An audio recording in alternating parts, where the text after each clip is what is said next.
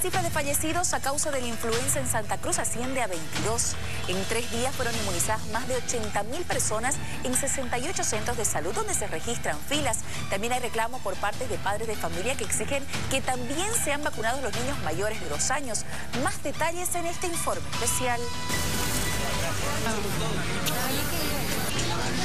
En Santa Cruz el número de fallecidos por influenza suman a 22 personas. Hoy se conoció la muerte de una mujer de 52 años de Montero. Sin embargo, el pasado martes llegaron al país 1.8 millones de vacunas contra la influenza, de las cuales 450 mil fueron destinadas para el departamento de Santa Cruz. Las 450 mil dosis de vacunas que llegaron a Santa Cruz serán distribuidas para los grupos de riesgo en capital y provincia. Joaquín Monasterio, director del CEDES, informa que las vacunas son especialmente para los grupos de riesgo o personas con enfermedades crónicas. La cantidad que nos han enviado es para grupos de riesgo. Si nosotros empezamos a vacunar otra gente que no sea grupo de riesgo, el ministerio nos va a cobrar esas vacunas a nosotros. Desde el día miércoles que inició la vacunación contra la influenza, muchas personas acudieron y se beneficiaron con la dosis para evitar el contagio de esta epidemia. Ya tenemos aproximadamente 80 mil personas que han sido vacunadas. Todavía no hemos recibido la información total de provincia. Tras la llegada de las vacunas, la gente acudió a los centros de salud para obtener la dosis, sobre todo las personas mayores y los menores de dos años, mujeres embarazadas, ambos considerados grupos de riesgo. Estamos viniendo a hacernos vacunar con ese propósito, para prevenir la enfermedad. Que tengo ataques de epilepsia, debo vacunarme, o sea, estoy entre las personas que tienen de riesgo. grupo de riesgo. Es necesario para que estemos bien. Con esta lluvia te van a salir más, más gente para prevenir. Ya estamos haciendo la fila para la vacuna, porque en mi barrio no están vacunando todavía. Sí, para prevenir, estamos haciendo la fila. La responsable del Centro de Salud San Luis informa que en dos días aumentó la afluencia de pacientes, sobre todo los de la tercera edad.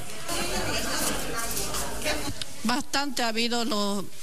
El día 9 de mayo hemos comenzado a vacunar, ha habido mucho, mucha gente que hasta el momento ya hemos vacunado este 1.400 este, adultos y niños hemos vacunado o sea, 150 niños. ¿La vacuna tiene algún costo?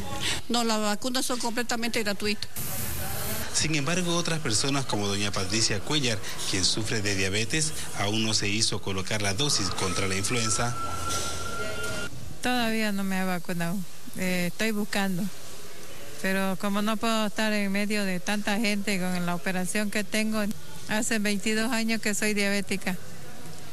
Eh, he tenido dos operaciones seguidas últimamente. ¿Es necesario que usted se coloque la vacuna entonces? Sí, voy a buscarla para hacerme vacunar.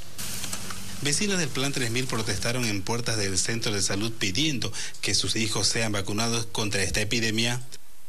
Y es injusto eso que todos, todo el mundo estamos para enfermarnos, no es por este tiempito y no nos quieren vacunar. Yo le pido pues a la autoridad que, que se manifiesten, de una vez hagan pues este, no esperemos que los niños se, se enfermen para que para que recién acudamos. Pues. No debería ser así, pues no, por igual deberían de vacunar de canto, porque la enfermedad todos lo agarran, ¿sí o no?